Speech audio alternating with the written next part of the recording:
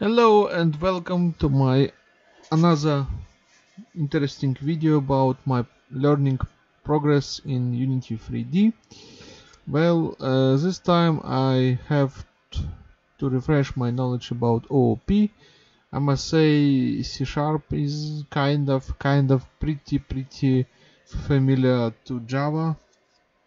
It has some historical reasons why it's so familiar, but anyway, this is what I have created. Uh, the assets were provi provided by the course um, mentor.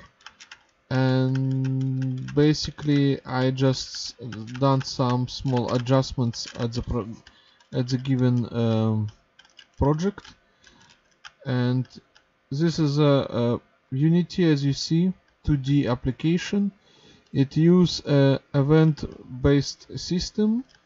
Like uh, for my taste it's still kind of um, a lot of OP work uh, because you need to be able to understand how events are registered and how the uh, objects actually happening. So uh, I use on collision event when the ball hit the target then there's some broadcasting uh, happening and the, uh, yeah and the message uh, is in, and the object is destroyed. So another interesting observation is all about threads as I said earlier threads kind of mm, in Unity are hidden.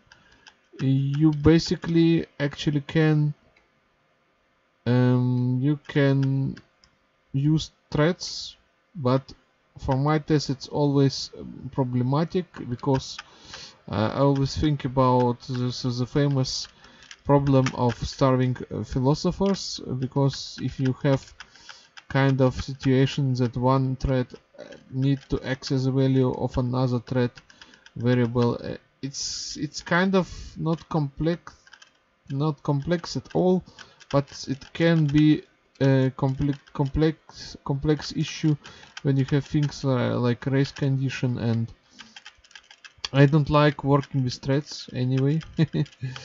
Um, yeah kind of funny funny stuff which you can do with unity but most things which I have learned that the C sharp language is kind of familiar with Java uh, some things which I have not seen in Java like uh, delegates um, listeners exist in Java but uh, some things are, were actually new to me and I can always say learn learn learn and you will never you will always have something to do and yeah I continue progress in, in understanding how Unity operates.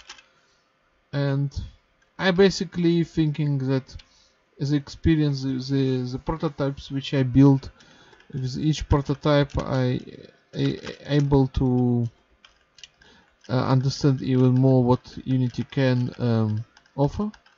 Because uh, I considered other engines. It's not that I, I took Unity. Of course Unity took me over by the simplicity uh, by amount of learning resources and the speed of of the development.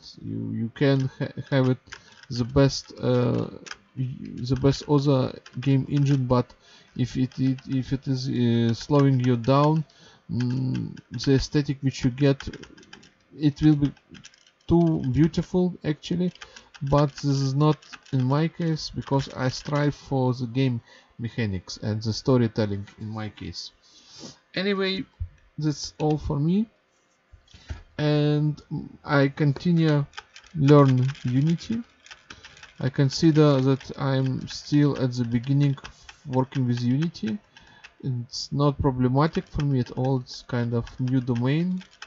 Understand uh, getting through the new domain is always take time, but I I see some progress and next next uh, big huge step will be like really uh, be able to test drive in, in Unity 3D and um, like I know I'm babbling through like having chance to write uh, unit tests and bypass bypass the complexity of programming which you have in, in C sharp in C C, uh, C sharp language.